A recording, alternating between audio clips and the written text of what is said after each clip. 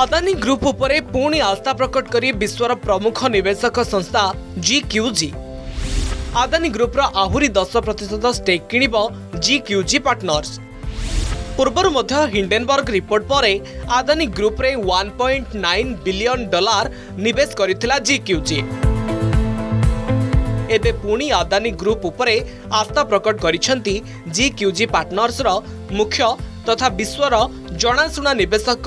ରାଜୀବ ଜୈନ ଆଗକୁ ମଧ୍ୟ ଏହି ନିବେଶ ଦୁଇଗୁଣା କରିବାକୁ ଲକ୍ଷ୍ୟ ରଖାଯାଇଥିବା ସେ କହିଛନ୍ତି ଆଗାମୀ ପାଞ୍ଚ ବର୍ଷରେ ଆଦାନୀ ଗ୍ରୁପରେ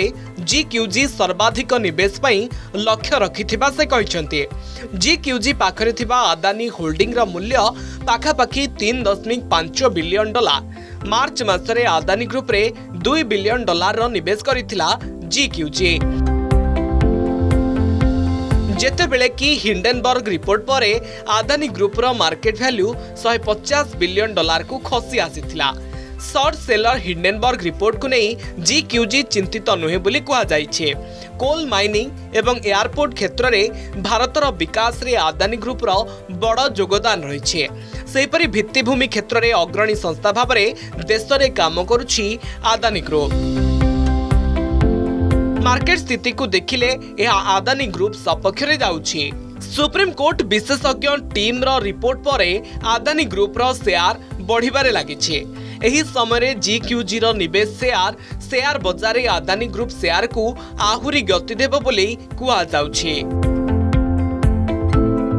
সুপ্রিমকোর্ট বিশেষজ্ঞ কমিটি রিপোর্ট পরে আদানি গ্রুপর ফ্লাগশিপ কোম্পানি আদানি এন্টরপ্রাইজেস লিমিটেডর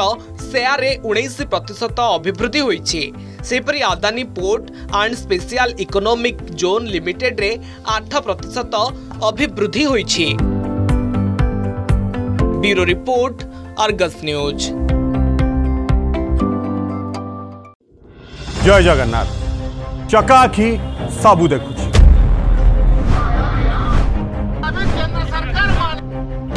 आम लड़ू साधारण ओडिया न्यायर लड़ी किए भी आमर गुआ दिया बंधु नुहति किए भी पार्टी रे तुंडी दे बसु किंतु आम कहबू रोक ठोक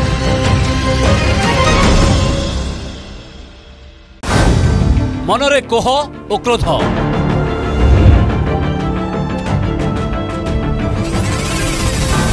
কাহাকু पचारे প্রশ্ন କିଏ ଦେବ ଉତ୍ତର ଆପଣଙ୍କ ପ୍ରଶ୍ନର ବେସାଲିସ ମଞ୍ଚ ପ୍ରଶ୍ନକାଳ ସୋମବାରରୁ ଶୁକ୍ରବାର ରାତି ଆଠଟା ତିରିଶ